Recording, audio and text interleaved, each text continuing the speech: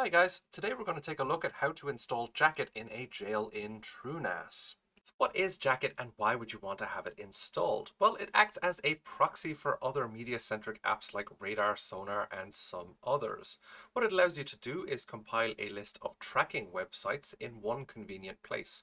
And then what Jackett does is translates the query from Radarr or Sonarr into the site-specific query that goes to that tracking website.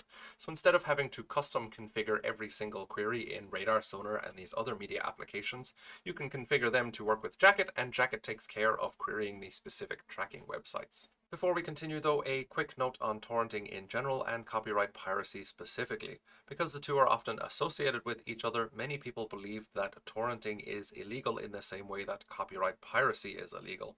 I'm hashtag not a lawyer and therefore I can't comment on the legality of using torrents in your particular country. But what I can say is that in my country, there is nothing wrong with using torrents in and of itself, provided the content that you are downloading and sharing is legal and you have the legal right to download and share it nor do we particularly condone copyright piracy on this channel, so the trackers that we'll be adding to Jackett when we get to that step will be coming from the Internet Archive, which hosts an awful lot of public domain movies and TV shows all for free. So once we've logged into TrueNAS, I'm going to go ahead and open up the jail that I am going to install Jackett in. That's right, we're going to go straight into installing Jackett on the jail itself. So if you're not sure how to create jails, check out my video on how to do that linked over here.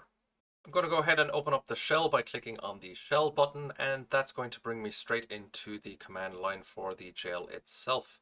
So the first thing that we're going to need here is a package manager. So I'm going to go ahead and type in pkg and hit enter and the TrueNAS jail will tell me that it doesn't already have a packet manager installed and ask me if I would like to install package. I'm going to go ahead and hit yes and hit enter and it's going to go ahead there and start installing the package management tool.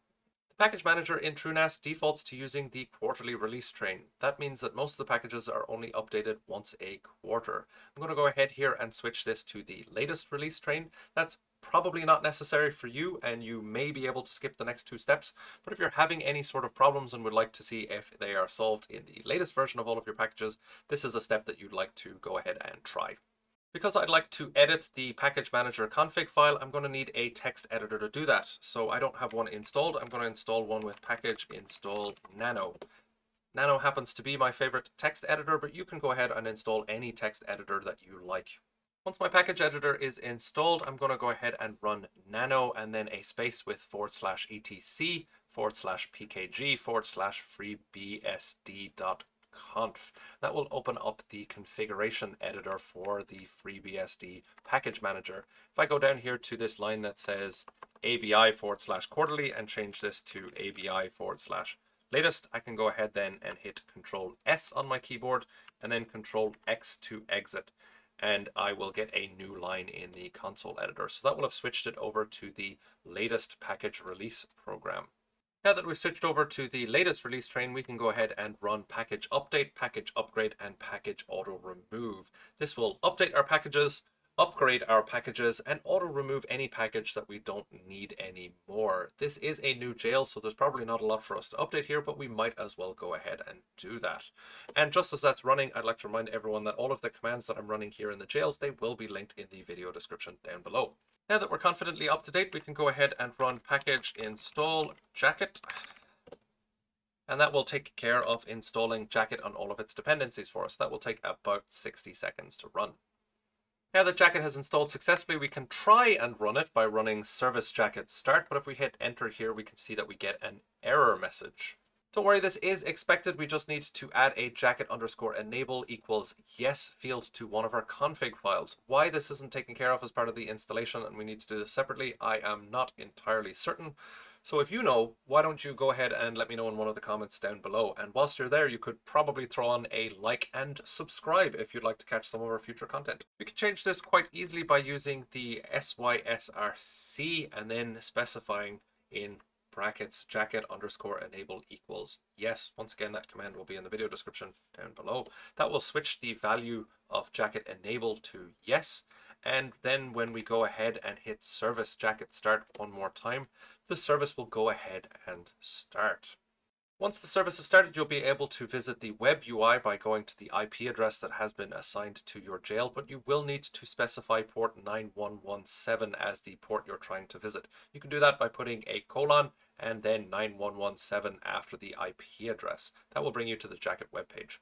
Once we see that the web page has loaded without any sort of errors popping up at the bottom, we can be confident that the service is good to go. So I am going to show you how to add an indexer to Jackett, but before I do, I just want to scroll down and draw your attention to this yellow check for updates button. If you were running Jackett on a Windows machine, that button would be how you would update the Jackett service. However, we're running it using a package manager inside of a jail, so the best way to update Jackett is to run the package update, upgrade, and auto clean command that we tried at the start of this video. That would be the method that I would recommend. Adding indexers is fortunately pretty straightforward. We can go ahead and hit the green add indexer button here at the top of the page. You might select a number of different indexers, but I know what exactly I'm looking for. So I'm just going to type archive into the search box at the top here. We can see we only get one result. It is the Internet Archive. If I go ahead here and hit the green cross on the right hand side, that will add that indexer to my list of configured indexers. At this stage, we can go ahead and hit the test button on the right hand side, and we'll see that a test begins and it will very, very quickly succeed, indicating that the indexer is good to go. It is returning results. Now that we've got Jackett installed and added at least one indexer, we can configure it for use with Sonarr, Radarr, and some other applications. Configuring all of that is outside of the scope of this video though, so if you'd like to catch that, then I recommend checking out this playlist over here, where I will be putting all of those videos as they're released. If they are not yet released, then that is why you would do the YouTube dance to go ahead and subscribe to the channel and get notified when they are. Throw down a comment to let me know what you would like to see in the future. Maybe go ahead and give the video a like. Otherwise, I will catch you guys on the flip side.